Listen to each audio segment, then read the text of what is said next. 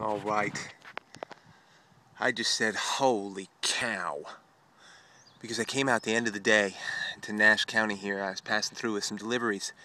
Now, across the way over there is a place that I call Williams property, and I love him. He's a good friend of mine. He lets me walk his property, and it's an ancient uh, Indian site.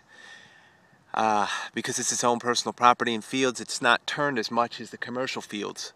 But so I came over here that was turned, and I was just believing that through these trees, because of the waterway, there was some life. I found some broken pieces, and I was just hoofing it out with the last 10, 15 minutes. And uh, I mean to tell you, can you see that from there?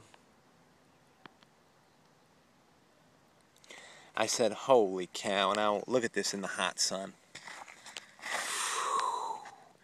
Can you believe it? Is that why I was walking, you know? Unbelievable. I mean, look at this. Look at that right there. Right there, buddy. My goodness. No wonder why I was checking this place out. Sometimes you just have that hunch and you gotta follow it. It's too bright out here. Let me see if I can get this. Man, check this out. If I can just get this thing cleaned up a little bit, I got a way that might work here. Nah, that didn't work. It's just so dry out here. This point is just a screamer. Wait till you see this thing.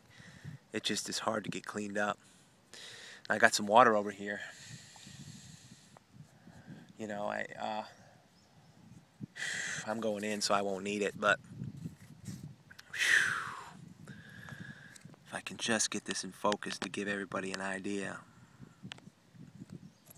this is a smoker.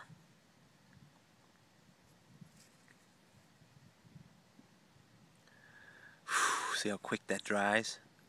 My goodness.